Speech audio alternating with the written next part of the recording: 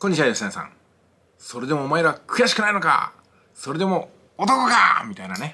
言葉が昭和の時代にありました。滝沢賢治扮する山下真司逆ですか？山下真司扮する滝沢賢治先生ですね。ご存知スクールウォーズでございます。スクールウォーズってパート2が作られたんですけどもそっちの方はいまいち受けなかったのかなと思いますね。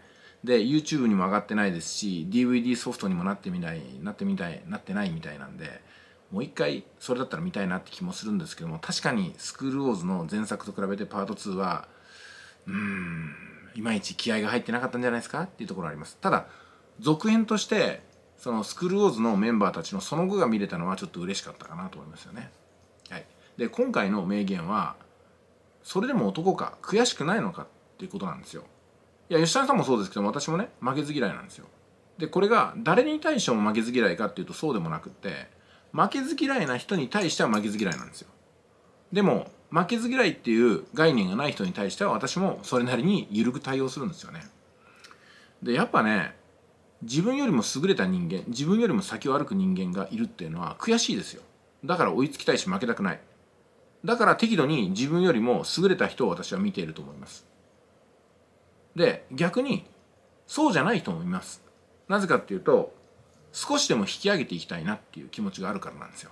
まあこういうふうに誰かに追いつきたいという気持ちと誰かに追いつかれたいという気持ち。その誰かと誰かの間にいる。人と人の間にいる。だから人間なんではないかなと私は思うんですよね。人の間で生かされている。私はまあ人間なんだと。単なる人かの何か生物的な人間ではなくってまさに意志を持って悔しさを持った人間。悔しさとともに人を待つ心とかね愛する気持ちとか許す寛大さとかそういった気持ちをたくさん持っていたいなと思いますね。でその気持ちっていうのもやっぱり誰かに追いつきたい負けたくないっていうこの負けたくないっていう気持ち悔しいと思う気持ちっていうのは大事だと思うんですよ。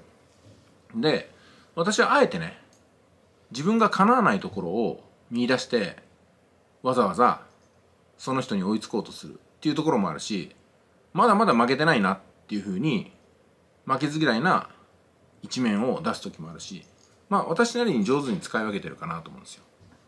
少なくともこの人にはかなわないところがあるなと思わなければ私は多分そういう人と付き合ってないんじゃないかなと思いますしでも逆にそういうものがなくても付き合える人もいるんでまあ様々ってことなんですけどね、うん、まああの理屈に合わないような人付き合いもあるかなというところでございます。